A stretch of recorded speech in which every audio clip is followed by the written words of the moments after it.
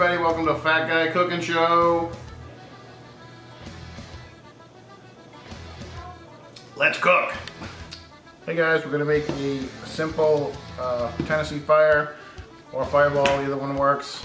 Um, applesauce, got three Granny Smith apples, cinnamon, a little bit of nutmeg, a little, little brown sugar, and of course, Jack Daniels Tennessee Fire.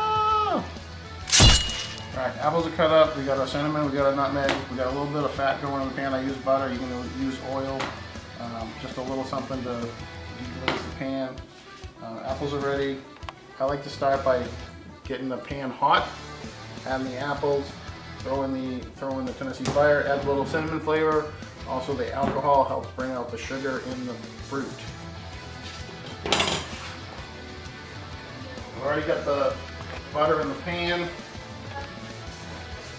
starting to get hot. You can hear it sizzling. I'm going to dump the apples right in on top of the butter. Let those go for a couple of minutes before I add in the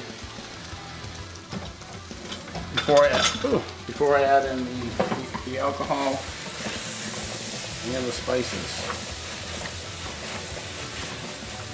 Try to get the whatever fat you used all over the, the apples. Let them go.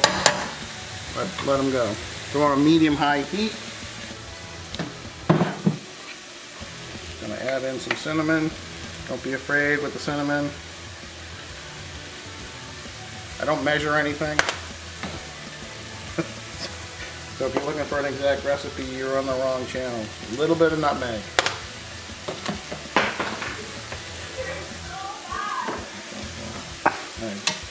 Cinnamon nutmeg in.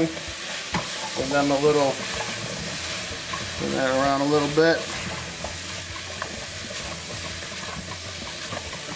Add just a touch of salt.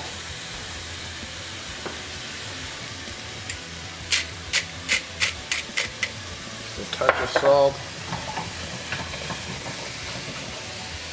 And then we're going to hit it with the alcohol.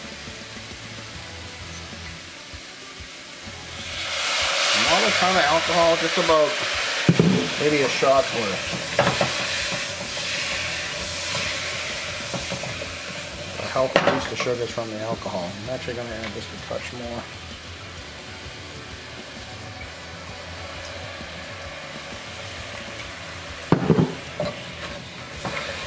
Bring that up to a medium-high heat.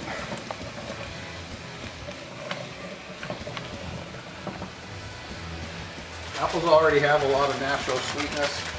We are going to add a little bit of brown sugar help help bring out that sweetness.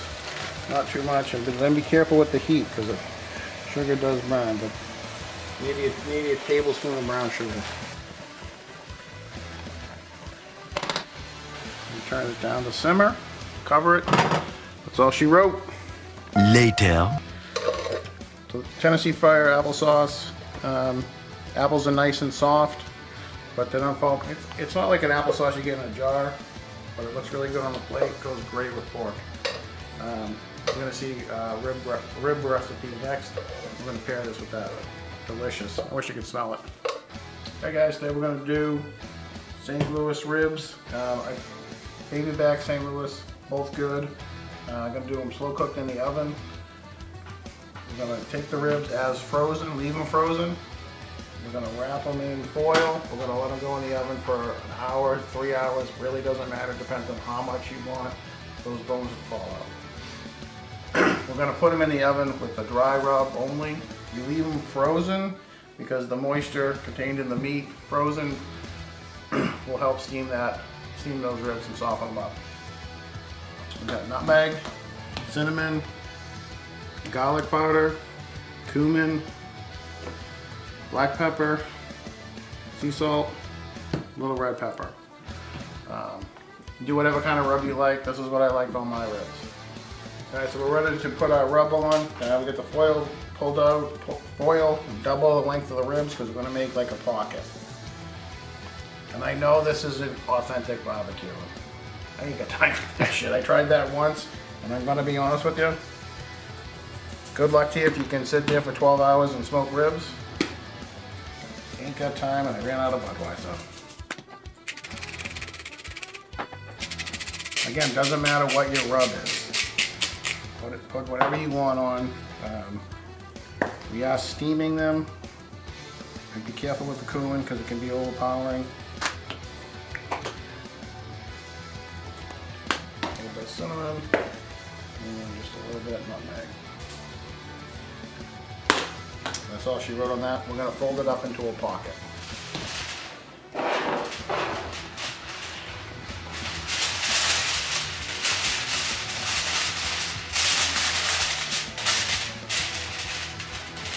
Make sure your seams are up, the drippage in the oven.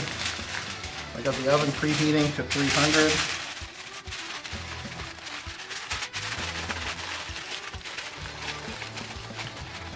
Pinch your seams real good to help keep the steam in. Because again, we're, we're, we're cheating. We're steaming the ribs.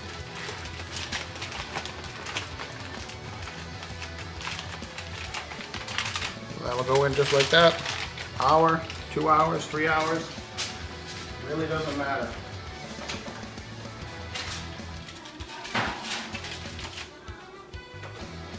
Three hours later.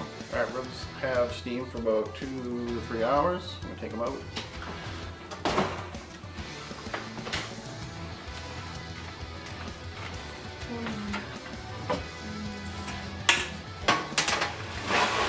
Actually did two racks when we of them.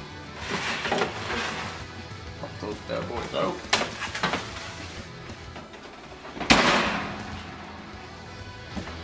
We're ready to go to the grill. New England, it's spring, it's raining, it's about 40 degrees out. It's fucking freezing. Anyway.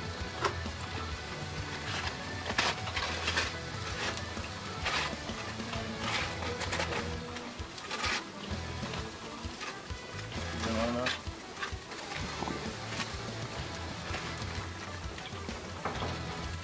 See all the steam coming off.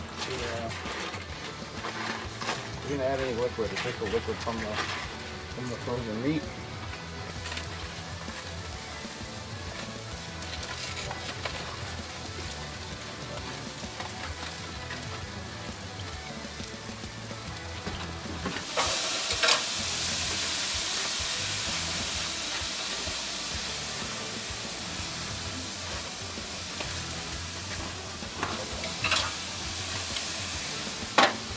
Really it. The ribs are completely cooked. We're just gonna sauce them.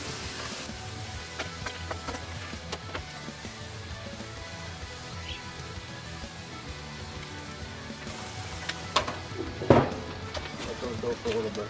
Later. There we got it. Two nice racks of ribs. Yeah, yeah,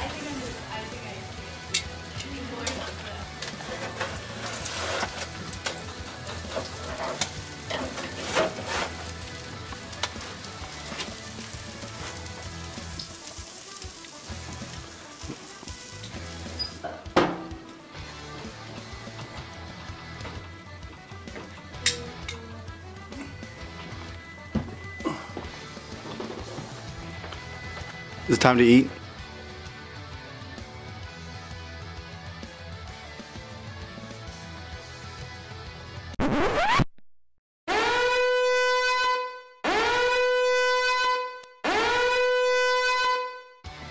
All right, final side for the rib dinner. We're gonna do a super easy coleslaw that is absolutely fucking delicious. Uh, the key ingredient, Marzetti's coleslaw dressing. So, I don't know what you work like 10 hour days, two hour commute. I don't have time to make all these sides from scratch. So, pre-cut cabbage, simple dressing, Done deal. That's all there is to it. And it is really good.